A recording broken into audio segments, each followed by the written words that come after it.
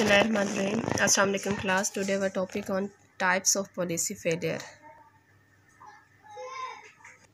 and first one is non implementation a case wherein the policy is not put into effect as intended because of various reasons ऐसा case जहाँ पर policy is not put यानी रखी नहीं जाती into affect किसी भी effect की सूरत में as intended because of various reason जो कि पैदा हुआ किसकी वजह से? बहुत सी वजूहत की वजह से, ठीक है?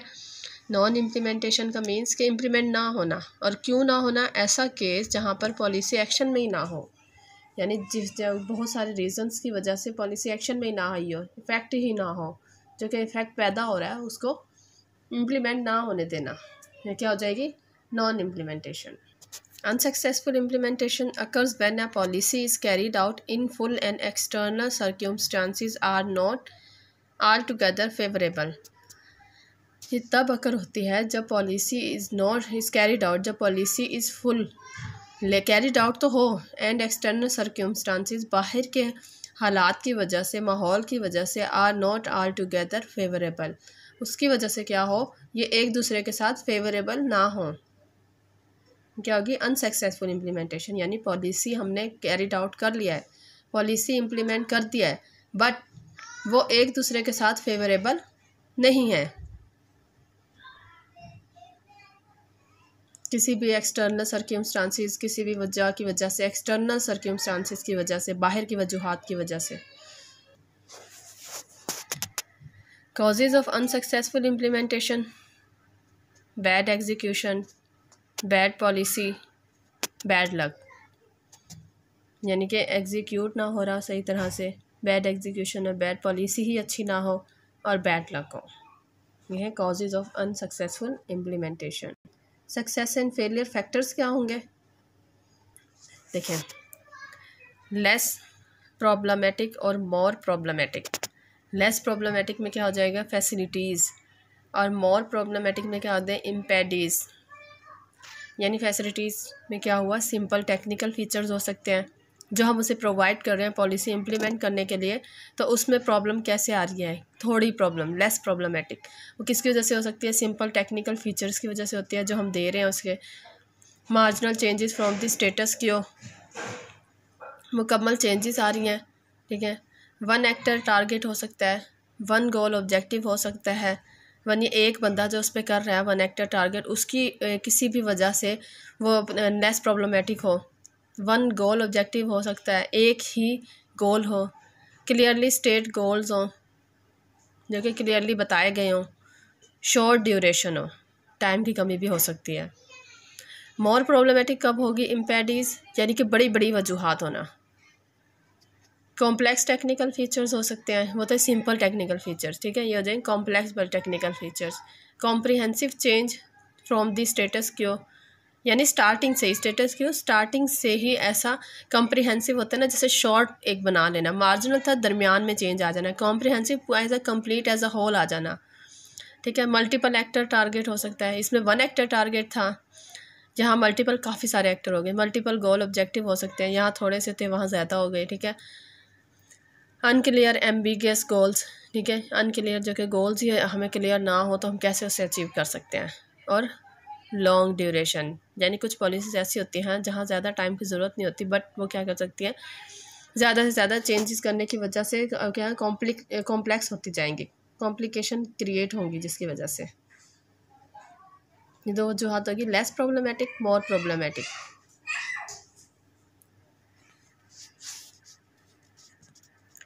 ये देखें कि सक्सेस कब होगी। Social acceptability social preparation social यानी सोशली लोग क्या हो मीडिया ये सोशली लोग क्या है, उसे एक्सेप्ट कर लें उस पॉलिसी को और सोशली प्रिपरेशन हो प्रिपेयर हो वो एक चेंज के लिए। सेकंड बना जाता है unity of purpose understanding among implementers and beneficiaries unity of purpose यानी इतिहादी पर्पस मकसद। अंडरस्टैंड करना, अंडरस्टैंडिंग हो किसके दरमियान अमंग इम्प्लीमेंटर्स के दरमियान होनी चाहिए। एंड बेनिफिशियरीज़ के दरमियान होनी चाहिए, यानी फ़ायदा मंद के दरमियान। यानी फ़ायदा ज़्यादा से ज़्यादा हो। इम्प्लीमेंट जब हम वो कर रहे हैं इम्प्लीमेंट कर रहे हैं, तब भी पॉलिसी और पॉलिसी और लोगों के दरमियान क्या हो? यूनिटी हो। कैपेबिलिटी ऑफ़ इम्प्लीमेंट हो। यानी क्या हो? Presence of a critical mass of supporters and critics presence हो। क्रिटिकल मैस के लिए, किसी भी मुश्किल सिचुएशन के लिए ऑफ़ सपोर्टर्स और क्रिटिक्स यानी जो सपोर्ट कर रहे हैं और जो उस पर तनकीद कर रहे हैं, उन दोनों के दरमियान होनी चाहिए। कम्युनिकेशन होनी चाहिए। कम्युनिकेशन में क्या आ जाएगा? Commitment coordination clarity of purpose efficient and effective communicate होना चाहिए। इम्प्लीमेंटेशन एम्पावरमेंट ये सब इसमें आ जाते हैं। देन आ जाता है suitability of surefire solution suitability होनी चाहिए। किसकी? सोल्यूशन की हमारे पास। सूटेबिलिटी होनी चाहिए of sun fire solution surefire solution surefire solution क्या मतलब? यानी कि जिस पे हमें अश्योरिटी हो कि ये सोल्यूशन हमारी पॉलिसी को इम्प्लीमेंट करने के बाद बिल्कुल ठीक होगा हमारे लिए। सफिशेंट रिसोर्स एंड सपोर्ट होनी चाहिए, ठीक है ना? हमारे पास इतने रिसोर्स एफिशिएंट सफिशेंट होने चाहिए जो कि सपोर्ट करते हो इन्हें। देन अब आ गया है फेलियर की वजूहत क्या होंगी ठीक है? फ़ंड शॉर्टेज हो सकती है, हमारे पास इतने फंड्स ही ना हो। फीलिंग्स ऑफ़ इन एडुकेसी हो सकती है हेल्पलेसनेस और इनसिक्योरिटी हो सकती है। इन एडुकेसी यानी चेक एंड बैलेंस ही ना हो। हेल्पलेसनेस किसी की सपोर्ट ही ना हो हमारे पास, और इनसिक्योरिटी लॉ एंड ऑर्डर्स का भी हमारे पास सपोर्ट ना हो। ठीक है? देन आता है एम्स टारगेट्स और objectives are not well defined यानी हमारा मकसद क्या है, हमारा टारगेट क्या है, हमें क्या बेनिफिट होगा, वो भी वेल डिफाइंड ना हो। एटीट्यूड ऑफ़ क्लाइंट्स अच्छा ना हो एंड इम्प्लीमेंटर्स आर प्रॉब्लमेटिक हो। और इम्प्लीमेंटर्स भी प्रॉब्लमेटिक क्रिएट प्रॉब्लम क्रिएट करते हों। इंटरवेंशन ऑफ़ पॉलिटिशियंस हो। यानी कि वो न्यू चेंजेस ना ला रहे हो या इंटरफेयर कर रहे हो पॉलिटिशियंस लिमिट यानी वो कहते हैं, हमारा हिस्सा दे देंगे या टैक्सेस में ज़्यादा इम्प्लीमेंट वो कर देना। इंक्रीजिंग कर देना। लिमिटेड रिसोर्स हो इंफॉर्मेशन एंड सपोर्ट ना हो लेजीनेस ऑफ़ इम्प्लीमेंटर्स हो। अन रिपेयर्डनेस हो, यानी कि unity of purpose and interest are not achieved unity ही ना हो, और इंटरेस्ट ही ना हो, जो हमारा मकसद है, वो अचीव ही ना कर पा रहे हम। रिलायंस और independent dependency on outside situation and support reliance यानी जो कहते हैं ना रिलाइबल है। यानी ये देर तक रहना और डिपेंडेंसी या एक दूसरे पर डिपेंड करना और आउटसाइड बाहर के इंस्टीट्यूशन एंड स्पोर्ट वो ना हो हमारे पास। कमी हो उसकी। एक्सप्लॉयटेशन और distortion of the concept of public welfare हो। यानी पब्लिक ही हमारे साथ ना हो। सोशली हम अवेयर सोशली लोग अवेयर ना हो सोशली प्रिपेयर ना हो, जिसकी वजह से हमें पॉलिसी इम्प्लीमेंट करने में बहुत ज़्यादा प्रॉब्लम हो सकती है। तरह से pre conditions to success policy implementation क्या होती हैं? No insurmountable external constants यानी रूल्स एंड रेगुलेशन जो बाहर के होते हैं, उन्हें फॉलो ना करना है। एडुकेट टाइम बहुत टाइम कम हो एंड सफिशिएंट रिसोर्स और रिसोर्स भी बहुत कम हो। Required combination of resource are available combination of resource available हो। Policy is based on valid theory policy क्या हो? बेस्ड हो किस पर? थ्योरी पर वैलिड थ्योरी पर। Causes and effect relationship are direct and unculture यानी क्या है? जो कॉजेज और इफ़ेक्ट हैं, किसके? पॉलिसी इम्प्लीमेंटेशन के। वो डायरेक्ट हो एंड अनकलचर्ड हो। यानी क्लियरली हो। क्लियर और शफाफियत हो उसमें। Dependency relationships are minimum minimal dependency relationships होते हैं, वो क्या हो? कम से कम हो। Objectives are agreed upon and understood objectives जो होते हैं, जो उसके वो क्या हो, उस पर सब एग्री हों और अंडरस्टूड हों, जो आसानी से समझ आने वाले हों। Task are specified in correct sequence जो टास्क है, जो वो स्पेसिफाइड किया गया है, उसका सीक्वेंस करेक्ट हो। परफेक्ट कम्युनिकेशन एंड कोऑर्डिनेशन हो। पावर एंड कंप्लायंस हो। यानी हमारे पास पावर या अथॉरिटी मौजूद हो, उसे इम्प्लीमेंट करने के लिए। अप्रोचेज टू इम्प्लीमेंटेशन आ जाता है। हम ये थोड़ा थोड़ा सा पढ़ेंगे एंड अप्रोचेज हम नेक्स्ट लेक्चर में इंशाल्लाह इन डिटेल पढ़ेंगे। First one is structural approach requires choosing the appropriate organisational form and accomplishing the task requires होती है हमें चूजिंग द अप्रोप्रिएट चूज़ करना है। Appropriate organisational form for accomplishing the task structural approach structure का मतलब क्या है? एक ढांचा बना लेना ठीक है? एक पॉलिसी को ढांचे की सूरत में ले आना इम्प्लीमेंटेशन की सूरत में ले आना। उसके लिए हमें रिक्वायर्स होती है choosing the appropriate organisational form होनी चाहिए। मुकम्मल आ, आ, मुकम्मल चेक एंड बैलेंस करने के बाद अप्रोप्रिएट हो ऑर्गेनाइजेशनल फॉर्म हो। क्या किसके लिए? For accomplishing the task task को अचीव करने के लिए। Develops appropriate process and procedures for managing and implementing programs.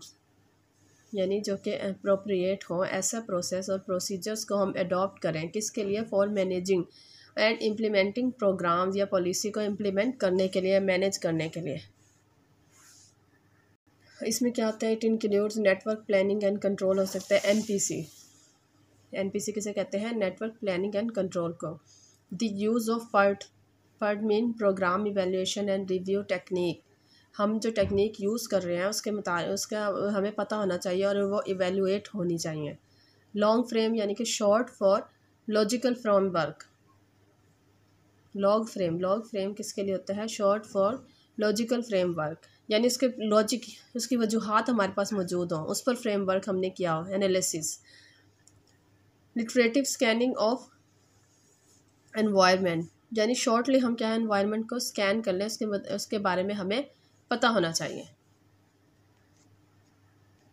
धन रहते हैं third one behavioural approach soothes acceptability and consensus building required in implementing policies viewed with conflicting lenses and various stakeholders ये क्या होती हैं? सूथ्स एक्सेप्टेबिलिटी होती है and consensus होते हैं कॉन्सेंसिस बिल्डिंग होनी आती हैं, यानी क्या हो, इसमें स्मूथनेस होनी चाहिए, शफाफियत होनी चाहिए, इसे एक्सेप्ट करने की and consensus one by one होनी चाहिए बिल्डिंग रिक्वायर्ड इन इम्प्लीमेंटेड जैसे कॉन्सेंसिस होते हैं इलेक्शन टाइप यानी बड़ी अप्रोच से नीचे की तरफ़ आना, इस तरह से क्या कर लेना, एक ढांचा तैयार कर लेना, जिसमें क्या हो, सबका अपना अपना बिहेवियर हो, सबको उनके अपना अपना यानी शफाफियत हो, जिसने किसने क्या काम करना है in implementing policies with conflicting lenses lenses यानी उन पर नज़र रखना।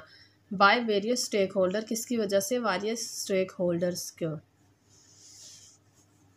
Okay it includes stakeholder analysis हो सकता है। M B O management by objective हो सकते हैं। ओ डी ऑर्गेनाइजेशनल हैं सारे क्या हैं? कि इम्प्लीमेंट को एक पॉलिसी को इम्प्लीमेंट करने के लिए इसमें क्या कर रहे होते हैं? काम कर रहे होते हैं। तो इस, इनका बिहेवियर अप्रोच यानी इसमें क्या करना है? इनका बिहेवियर को एनालिसिस करना है। ठीक है, कि वो किस तरह से काम कर रहे हैं। इसमें management by objective organisational development and stakeholder analysis आ जाते हैं। Fourth one is political approach ठीक है पॉलिटिकल अप्रोच ये भी तो अप्रोच रखते हैं ना, बहुत बड़ा। Anticipate political obstacles and take them into account before the formulation of objective and selection of option. एक पॉलिसी हमने जब बना लिया तो उसमें सबसे पहले हमने ये देखना है कि क्या वो politically political legal laws and rules को फॉलो करती है या नहीं करती, या हुकूमत का क्या एक्शन है और हम अपने हिसाब से उस तरह चलना चाह रहे हैं। लेकिन हमें क्या गवर्नमेंट की पॉलिसी को फॉलो करना पड़ेगा? Anticipate political obstacles and takes them into account ठीक है, हमने क्या देखना? पॉलिटिकल पॉलिसी को देखना और उसे अपने अकाउंट में रखना before the formulation of objective objective formulate करने से पहले। एंड क्या कहना? Before the formulation of objective and selection of option in detail approaches को हम इंशाल्लाह इन डिटेल नेक्स्ट लेक्चर में पढ़ेंगे। आज हमारा लेक्चर यहीं पर हम फिनिश करते हैं। इंशाल्लाह नेक्स्ट लेक्चर में मिलते हैं। ओके गिनास कि बेटा अल्लाह हाफिज़